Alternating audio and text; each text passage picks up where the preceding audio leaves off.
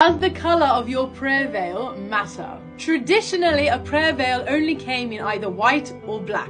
This is because traditionally white was considered to be for unmarried women, whilst black was to be considered for the married women. But in more modern times, it doesn't really matter what colour you wear.